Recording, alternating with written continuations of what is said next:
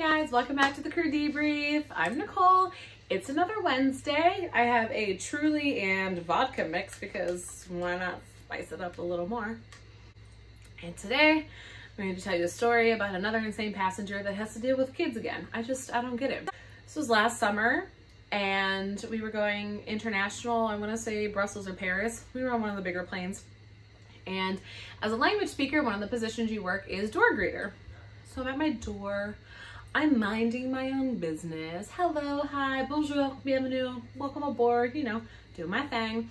And for some reason, three supervisors had showed up to our flight. I don't know why. There was no issues, like we weren't having any problems. And they're at the door hanging out. So hi, hello, welcome, hello, bonjour, welcome aboard, right? One of the supervisors went to the back to do something. And when he came up, he was like, all right, well, there was parents sitting separate and they had a small kid, so I moved the dad to sit with mom. Great. Well, he goes to get off, we're ready to close the door, and this lady comes barreling up. All right, so just envision like three supervisors looking all shocked and surprised as this lady starts like cussing at them. And she's pissed. She was like, how dare you? How force me to sit next to a child. I had that row to myself and then you made me sit next to a kid. I refuse. I'm not sitting next to this child. And they were like, no, the mom was already sitting there with this, with the kid. Like that's their seat. They were already going to be there. I can't believe that you're going to make me sit there. Do you know how many miles I fly with your company every year?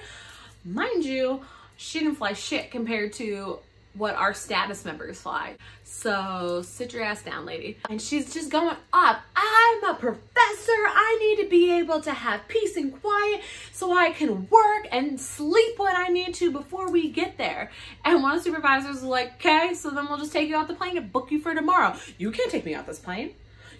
You can't take me off this plane. What about my husband? Who we think didn't exist. I really don't think that he existed. The lady was like, well then I'm, if you don't calm down, like that's going to be the course of action. So our purser came up to her and he was like, I'm sorry that you're upset, but if you please just calm down, we will do everything we can to make you more comfortable in the air. Her face dropped down one shade of red and she was like, fine. So she went back to her seat. We're great. We're to close the door. 20 seconds later, a bitch is back. And now she's pissed because the this child who was a lap child, so the kid's under two, was on the floor and she couldn't get to her seat and it's just ridiculous of us to expect her, a lawyer, now she's a lawyer, to have to put up with such frivolity as a child, which is going to cry and make noise and distract from what she needs to do. I honestly have no idea how we shut this door with her still being on the plane. I really don't know because I'm just trying to like greet people as they get on, sipping my tea on this crazy bitch. So she'd been sitting in the zone that had extra leg room, so they moved her to a row to her by herself. She seemed fine. We do our first service, no problem.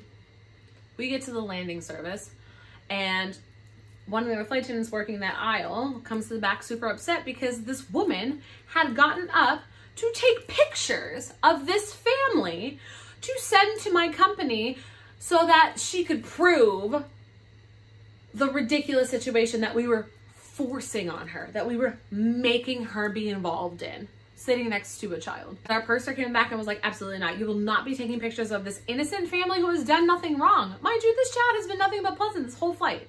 So when we landed, I'm the door greeter. I'm saying, thank you so much for flying. See you next time. And she comes up to me and she was like, what is the name of your purser? And I was like, oh, why don't you just speak with him first? I'll go get him. And then my stupid ass turned around and yelled his name she goes, oh, thanks. I don't need to talk to him. And I was like, well, actually, there's two of them working this flight, so you should probably still talk to him. There, there wasn't. I was just trying to cover my butt. He comes up and he was like, no, get off the plane. I'm not entertaining any more of your irate manners today. She got off the plane, but like was yelling. And she kept mentioning this husband. What we never saw her speak to anybody. No man spoke to her. We looked, there was no one else on the plane with the same last name as her. Not saying that she couldn't have kept her maiden name, but still, like, it was really weird. Like, you're making, I felt like she was making up this husband to try to give her, like, brownie points. She was just, ironically, childishly pissed off about sitting next to a child. And the audacity of her to be that vocal about basically hating children with so many people around.